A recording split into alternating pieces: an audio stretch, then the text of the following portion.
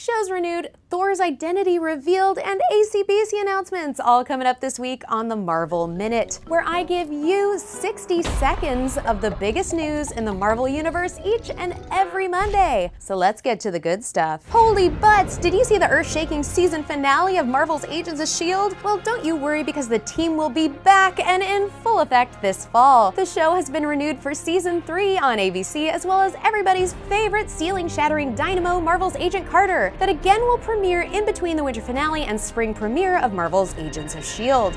Catch up on the most recent episodes of the shows now on the Watch ABC app. Thor's identity has been revealed. Spoilers ahead, skip ahead now if you don't want to know because yes, the goddess of thunder is none other than Jane Foster. The worthy woman is currently suffering from cancer and being Thor doesn't seem to be helping. Read more in Thor number 8. This weekend, Atlantic City Boardwalk Con broke big news. Battleworld will continue to exist beyond Secret Wars, gasp, as well as more to come post-wars for Weirdworld, Howling Commandos, Maestro, and A-Force. Read more now on Marvel.com and linked below. And speaking of A-Force, don't miss the exciting first issue on Stacks this Wednesday. Did you guys watch the two-hour season finale of Marvel's Agents of S.H.I.E.L.D.? What do you think of the identity of the new Thor? Tell me down below.